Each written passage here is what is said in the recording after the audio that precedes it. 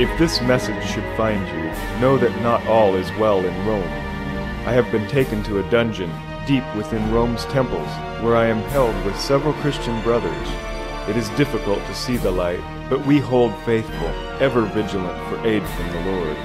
Your period of apprenticeship is nearing an end, and soon you will leave the title of catechumen behind to become a fellow brother in Christ.